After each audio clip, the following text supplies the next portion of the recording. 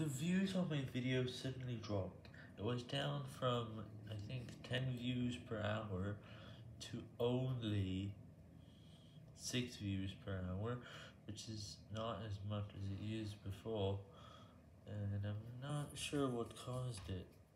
I was getting 10 views per hour just fine, now it was down.